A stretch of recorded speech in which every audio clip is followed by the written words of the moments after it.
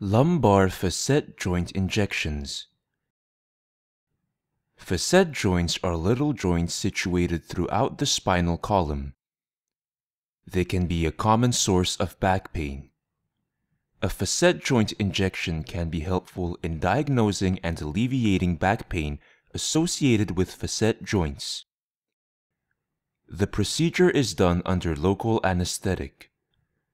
The doctor will initially numb the skin and deeper tissues with the numbing medicine.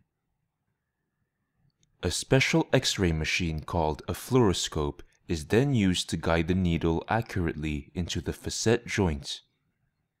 A mixture of local anesthetic and steroid is injected slowly into the joint. The local anesthetic can provide immediate pain relief, but the steroid can take a few days to work. Pain relief from facet joint injections can last several months, though this may not always be the case.